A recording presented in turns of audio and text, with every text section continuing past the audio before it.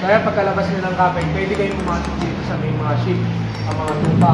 Pwede nyo silang hawak-hawakan, mababait naman sila, hindi sila nangangagat. Yun! So, pupunta kami ngayon sa Ship Cafe. Ayan, makita mo yung mga tambayan ng mga estudyante dito. Ayun, may nadaan ako yung mga tambayan ng mga estudyante. Oh. Parang nanonood lang ng liga sa basketball court. Eh. Ayon sa research ko, yung Ship Cafe na to ang pinakakaiba sa lahat. O lahat naman kakaiba eh. Ba't lahat na lang ng cafe na pinunta namin kakaiba? Dito ka lang daw makakain ng strawberry waffles dito sa buong Seoul. Nag-iisa lang daw ang Ship Cafe. So ayan guys, nandito na tayo sa Ship Cafe ngayon. So pupunta na tayo at titingnan na natin yung nag-iisang dessert dito sa Seoul. So tara!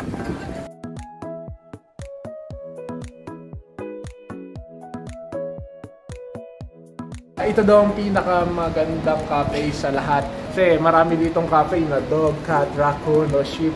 Pero yung sheep cafe, ito daw yung pinaka the best dahil masarap yung mga pagkain na sineserve nila. So mga sheep ay matatagpuan nyo sa labas pagpasok nyo.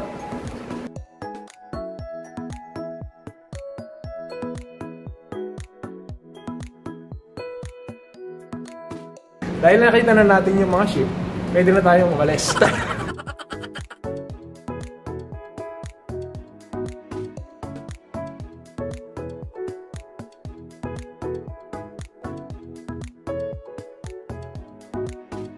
marami kang pagpipilian ng mga drinks dito. Ayan, fresh fruit aid, smoothie, juice, ice beverage, yogurt, smoothie, frappuccino.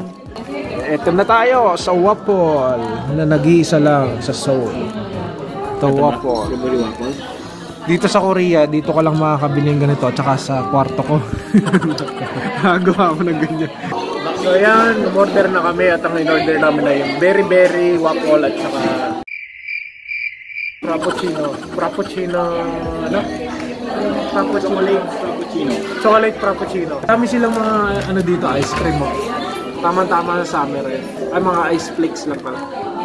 Parang shake, shake, shake sa atin. Shake.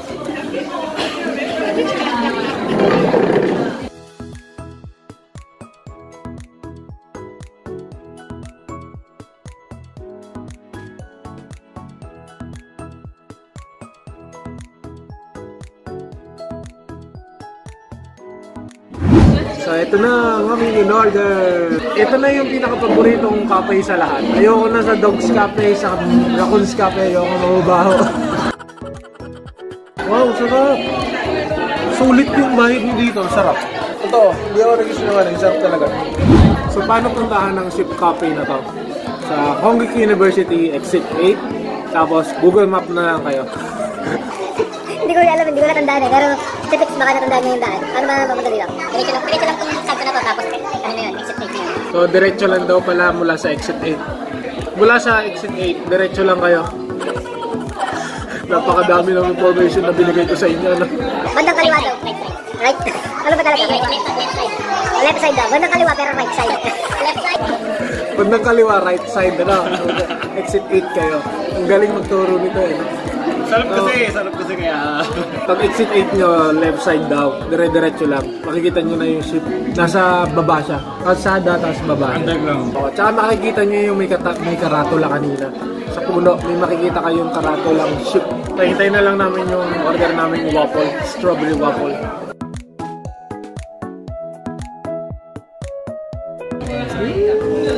Ito na order namin.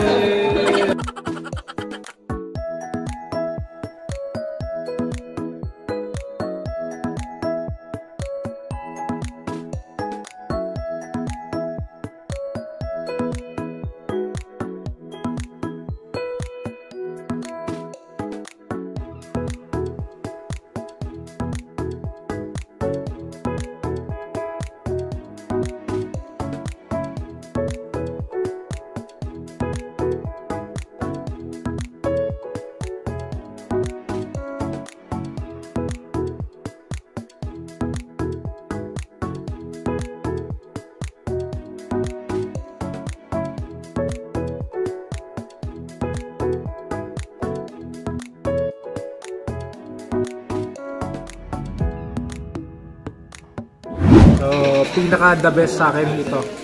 Sa limang napuntahan ko, pinaka the best, pinaka masarap. Dapat mapuntahan nyo din to. Parang sinabi ko rin sa Dogs Cafe. Sabi sa One Piece Cafe ah. Ayoko ng One Piece Cafe. Kung napanood, panoorin nyo yung vlog ko sa One Piece. Hindi ko gusto yung ostrich. Hindi ko gusto yung ostrich chicken.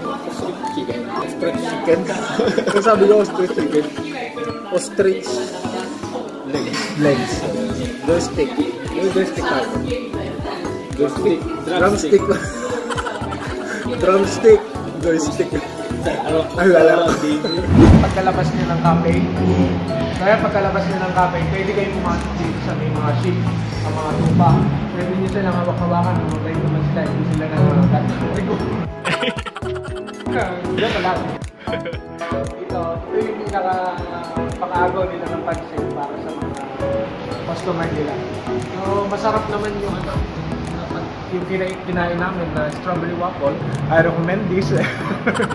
Parang sinabi ko na yun sa may Don's Cafe eh. Hindi, pero masarap. I-try nyo to. Hanggang sa next cafe natin. So, hanggang dyan na lang. Bye-bye. Salamat sa panonood.